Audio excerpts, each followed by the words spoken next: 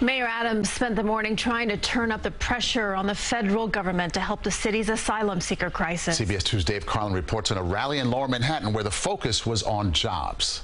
Magdi Kabor is spending his third month in the USA. The 23-year-old traveled here alone. So we came here to work, to get the work, to get the work permit. Joining Mayor Eric Adams in Foley Square for this rally, saying, give us work.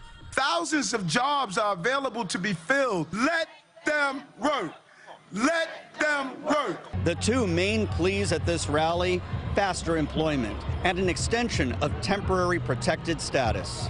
I came here to have things be better, but then I'm here and having extreme difficulties as well. Some Republican state senators gathered in Nassau County saying New York's mayor should be making this demand instead. Asked President Biden to seal the border.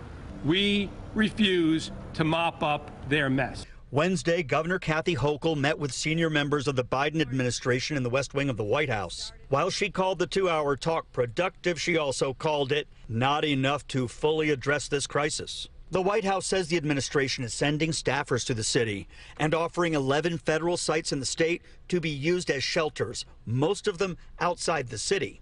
The mayor and governor are at odds about how much help the city will get from upstate neighbors. We cannot and will not force other parts of our state to shelter migrants. Adams said with the city getting an estimated 100,000 asylum seekers so far, this cannot be just a city problem. He says it's a state and nationwide one. In lower Manhattan, Dave Carlin, CBS 2 News.